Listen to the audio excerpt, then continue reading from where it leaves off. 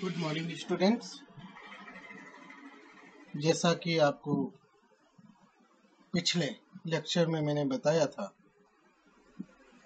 आज से हम एंटीजन एंटीबॉडी रिएक्शन के बारे में पढ़ेंगे।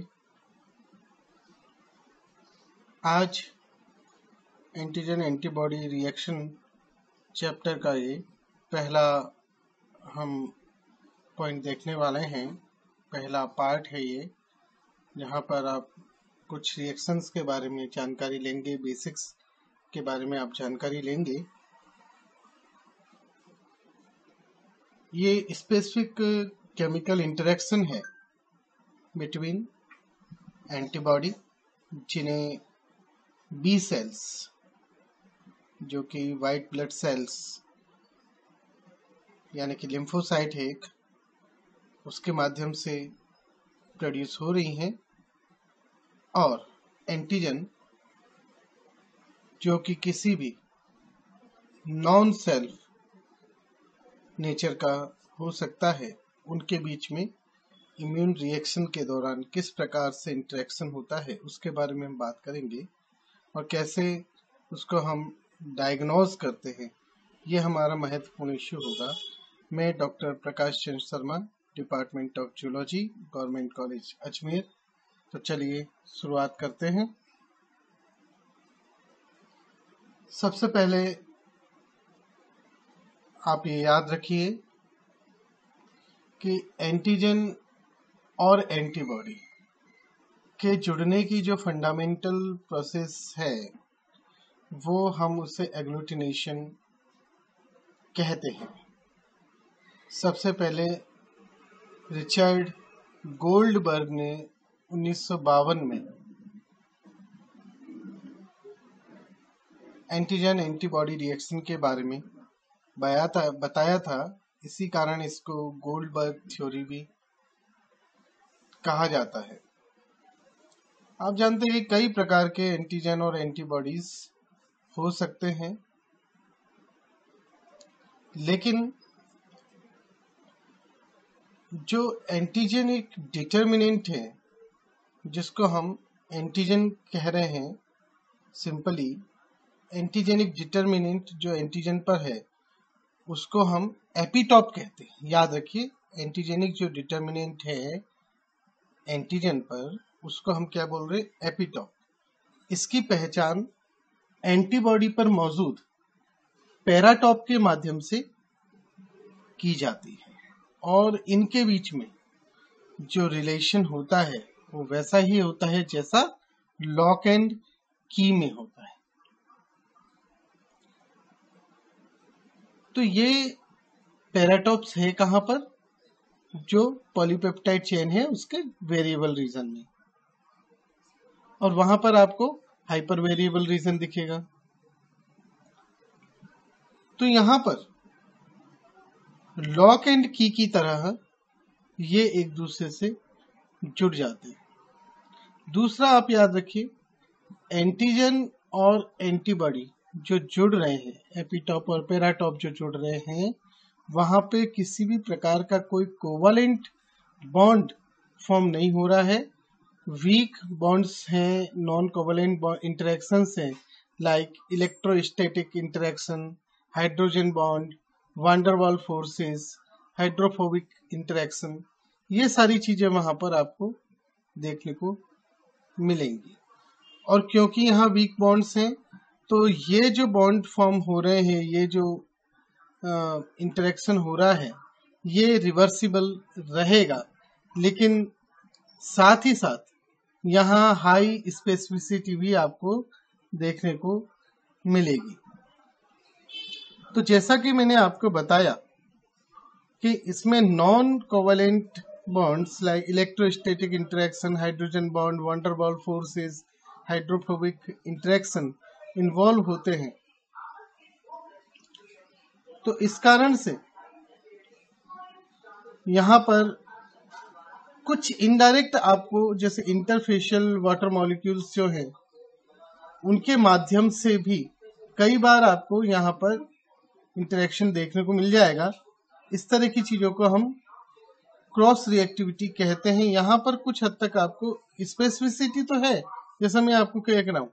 लेकिन यहाँ कभी कभार आपको क्रॉस रिएक्टिविटी भी देखने को मिल जाएगी। तो इनके बीच में हाई एफिनिटी होती है लॉक एंड की के रूप में। ये चीज़ याद रखें। यहाँ दो टर्म आते हैं, एक आता है एफिनिटी और दूसरा आता है एविडिटी एविडिटी जो टर्म है, वो हम यूज़ करते हैं overall strength of the binding of an antibody to antigen जो कि उस पर्टिकुलर यहाँ पर आप थोड़ी, थोड़ा सा कंफ्यूज होंगे इन लैंग्वेज से, लेकिन इसको ये आप यो समझिए कि जो पेराटॉप है, वो एपिटॉप से जो कि किसी एंटीजन का हिस्सा एक एंटीजन पे एक से अधिक एपिटॉप्स मौजूद हो सकते हैं। ज़रूरी नहीं कि एक जो एंटीजन आया है बाहरी, उस पर एक ही एंटीजेनिक डिटर्मिनेंट हो, एक ही एपिटॉप हो, उस पर एक से अधिक एपिटॉप हो सकते हैं। तो जो एंटीबॉडी का पैराटॉप है, वो एंटीबॉडी एंटीजन के एपिटॉप से जो ओवरऑल स्ट्रेंथ है बाइंडिंग की, उसको हम एविडिटी कहते हैं।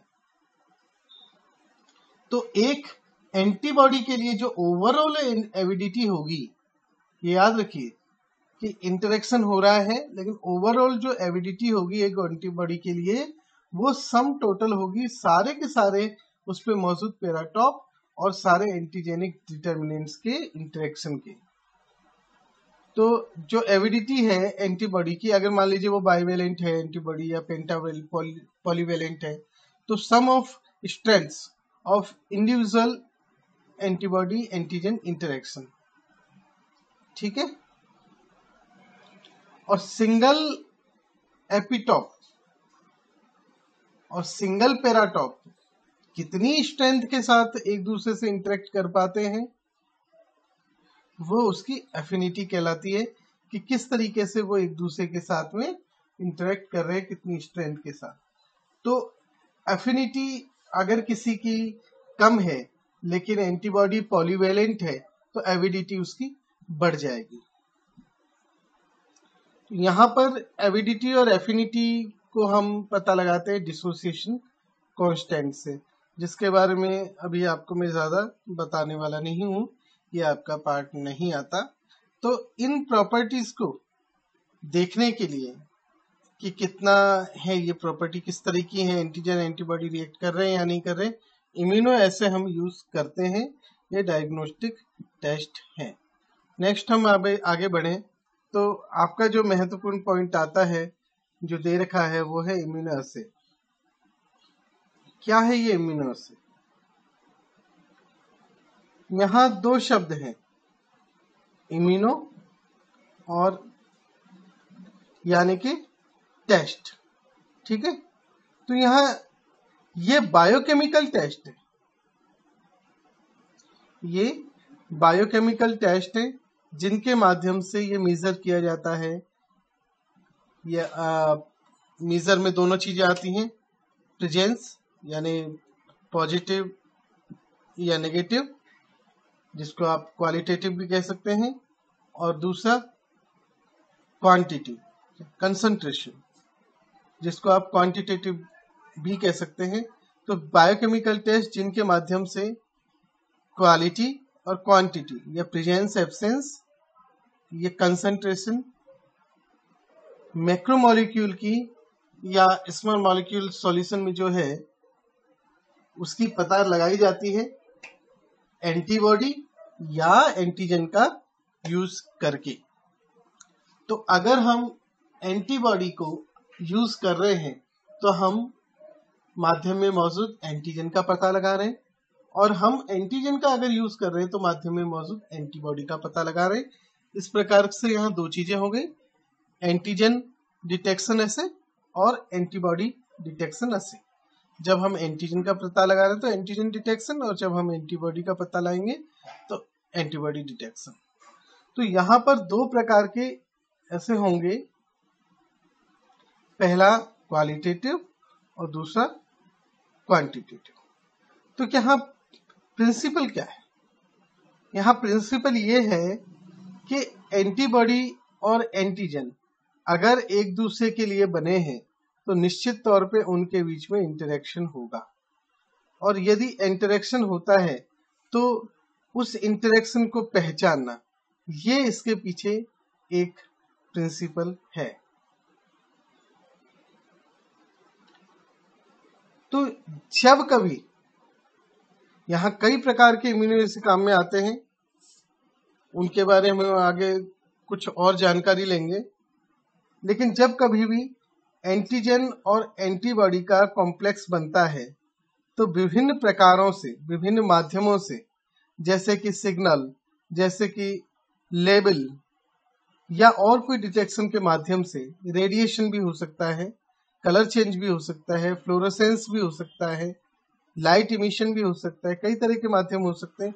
उनके माध्यम से उसकी उपस्थिति, अनुपस्थिति या उसकी मात्रा के बारे में पता लगाना। तो हम बेसिकली ऐसे को दो पार्ट में बांट सकते हैं क्वालिटेटिव ऐसे और क्वांटिटेटिव क्वालिटेटिव में पॉजिटिव या नेगेटिव है। कई बार फॉल्स नेगेटिव रिज़ल्ट भी देखने को मिल जाते हैं।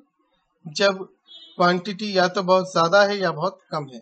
और क्वालिटेटिव जहाँ हम मात्रा का पता लगाते, ज़्यादा रिलायबल टेस्ट है ये, और यहाँ जनरली हम सीरियल डाइल्यूशन मेथड वगैरह का इस्तेमाल करते हैं। नेक्स्ट जो हमारा टॉपिक होगा, हम इन इम्यूनो एसे के बारे में, कौन सी क्लासिकल टेक्निक्स हैं, कौन सी मॉडर्न टेक्निक्स हैं, और कौन कौन से प्रमुख प्रकार हैं, जैसे प्रिसिपिटेशन टेस्ट वगैरह। उनके बारे में हम नेक्स्ट टर्न से जानकारी लेंगे। आज का टॉपिक यही समाप्त करते हैं। धन्यवाद।